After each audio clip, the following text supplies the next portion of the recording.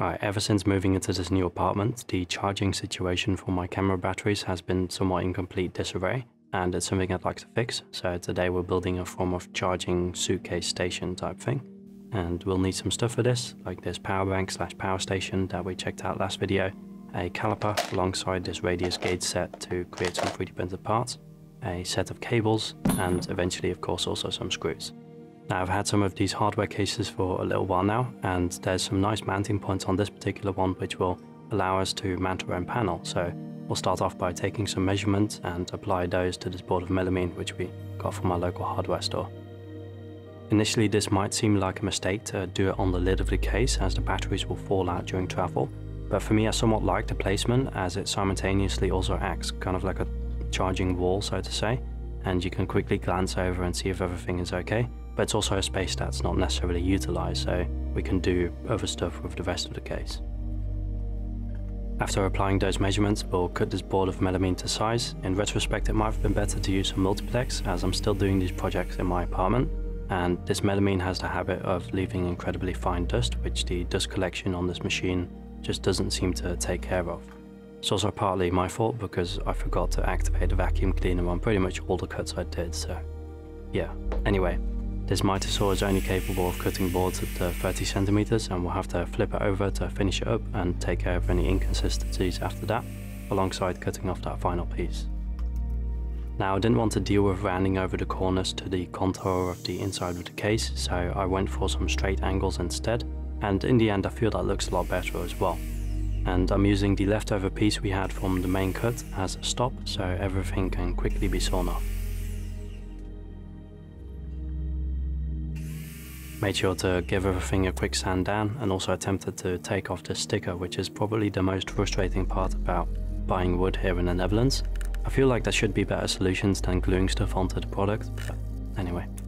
Today, quick test fit and I realised that perhaps I did cut off a little too much from the corners, but in the end that turned out to be quite nice as we could design and 3D print a little mount which holds this board in place.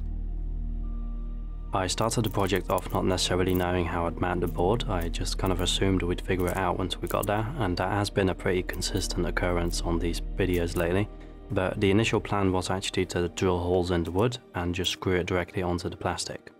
The thing that I wasn't so sure about is how I'd figure out where to drill those holes because I couldn't necessarily mark them really easily. And these 3D printed mounts are far more lenient in that regard. Now this transitions nicely into the sponsor for today's video which is PCBWay. Later on in this project, we'll also be using some 3D printed parts which are far more important. But for those that perhaps don't have a 3D printer or don't want to deal with all the hassle that comes with 3D printing, you should definitely check out PCBWay. They offer a variety of services ranging from PCB production and assembly, CNC machining, sheet metal fabrication, injection molding, and of course 3D printing.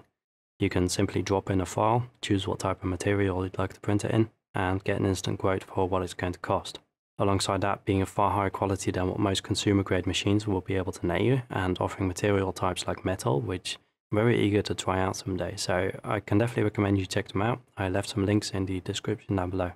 So while the corner pieces were printing I gave the board a quick spray paint job with some primer and later on gave it a coat of glossy black which I had left over from another project.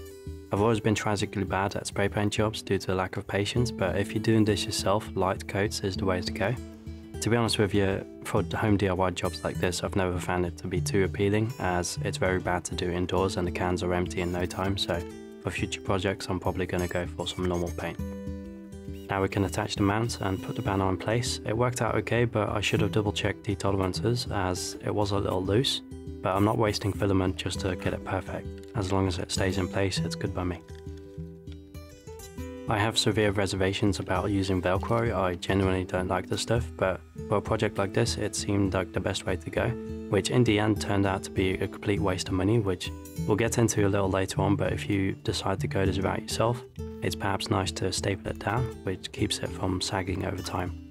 I do this here as well, but I neglected to put it in the center, which is where the issues cropped up for me personally. Now in my case I also made sure to put the soft side of the velcro on the underside of the chargers. This way they wouldn't stick to the inside of my camera bag which has some kind of velcro fabric. Now this project somewhat relied on a product that I would receive from Ohai. This is a 40,000 mAh power bank that I sent over and it has a really high output capacity of 140 watts which will be more than enough to give everything enough juice. Alongside this a nifty little screen which will allow us to see what's actually going on and if everything's working out okay. You can check out the full video I did if you're interested. This battery did take a little while to revive though, so this project was shelved for a couple of weeks and in that time my fears about using Velcro were confirmed as I had already started using the case and everything started to break.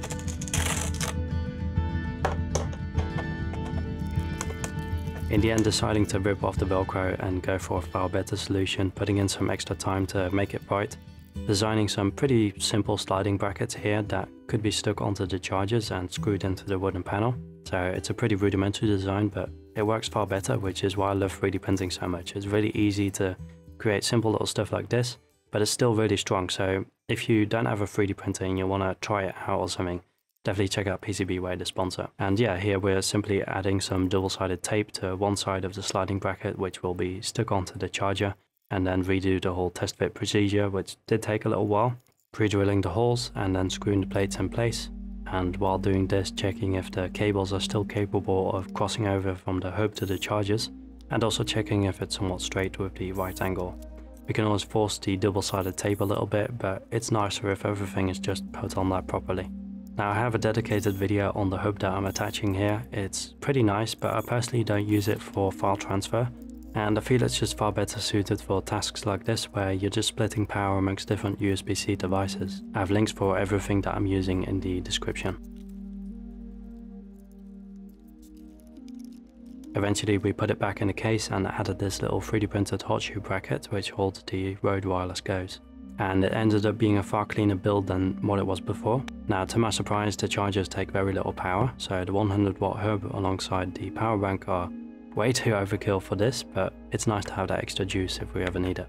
In my case the batteries also stay in place quite nicely when the lid is closed and I'd love to hear your suggestions on what to do with the other side of this case so let me know in the comments and don't forget to subscribe if you're still here.